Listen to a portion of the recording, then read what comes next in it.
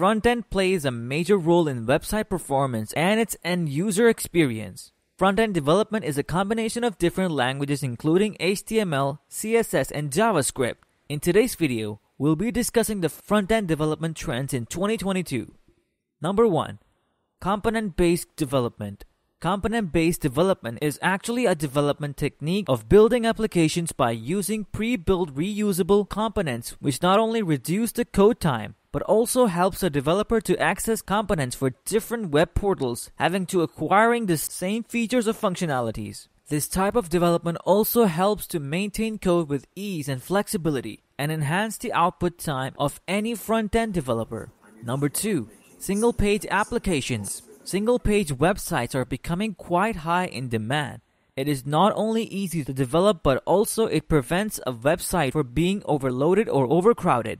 Single page websites are also getting popularity because of their optimized loading speed and ease to manage the content and graphics all at one landing page. A plus point of single page application is considered to be the mobile friendly environment, which is quite easy to convert into a mobile application and web portals. Number 3. Jamstack. Jamstack is shortly used for combination of JavaScript, APIs, and markup. These three are used as a stack to get the most enhanced feature and functionalities and are widely used as a combination which makes it set a new trend and become popular trend of 2021 and course for the coming year 2022 as well. Using Jamstack makes a website faster, easy to manage, and secure. There are big names in the industry using the Jamstack architecture, including Nike and PayPal. Number 4. Micro Frontend Architecture.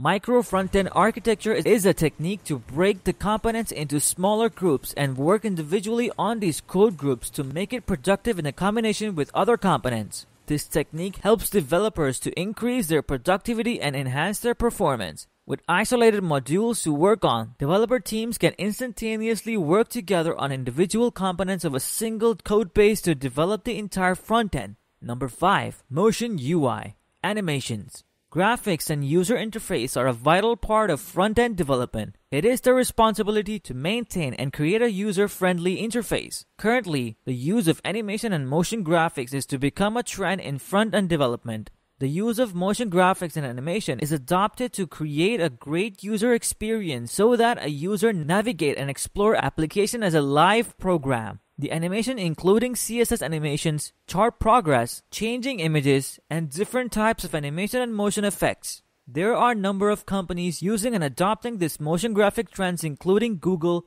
Facebook, Instagram, Uber, and Spotify. Number 6. Progressive web applications. Progressive web apps are now a new trend of front end development. These apps are created using the same most popular front end language like HTML, CSS, and JavaScript.